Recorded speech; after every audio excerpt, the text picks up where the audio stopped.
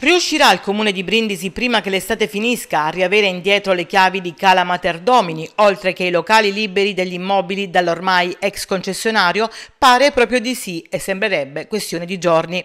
Questo infatti è un passo quanto mai necessario per l'assegnazione del bene a un nuovo gestore e salvare l'estate 2024 a tantissimi brindisini che vorrebbero usufruire con i servizi della spiaggia libera.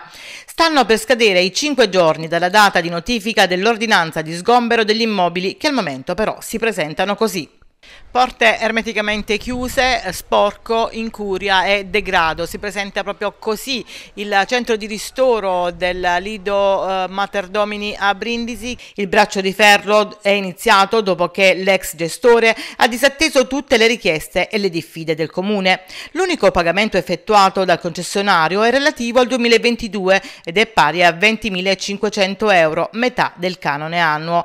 Il 10 maggio scorso, dopo l'ennesimo sopralluogo disatteso del gestore, il comune ha constatato che lo stabilimento necessita di interventi di manutenzione e non solo, ma che non può agire perché non in possesso delle chiavi del lido, che nelle prossime ore potrebbe essere liberato dal comune con un'attività di sgombero coattivo.